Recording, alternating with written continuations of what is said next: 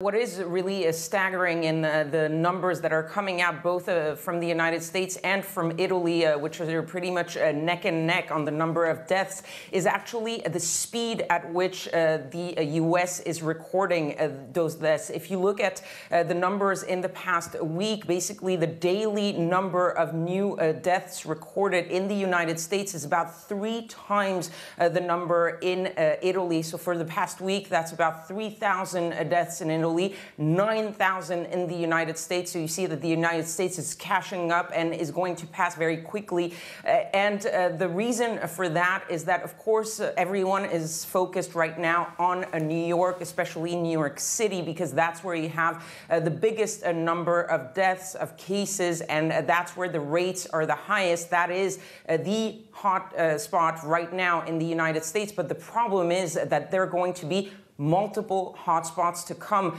Uh, even though New York seems to be stabilizing, there are going to be uh, bigger numbers coming out uh, from other uh, big cities. Uh, they're uh, thinking that the peak is not going to be reached in California for another week. Chicago is closely looked at as a possible new hot spot. same thing for Louisiana, and that's really the issue with the United States is that unlike Italy, which basically locked down pretty much at the same time and very very strictly. In the United States, it was really a hodgepodge of uh, lockdowns from uh, the uh, West Coast to the East Coast. Still, some states to this day don't have a lockdown. That's why you're seeing different waves coming up at different times in the United States. And that's why these numbers keep uh, going up and creeping up for uh, the United States.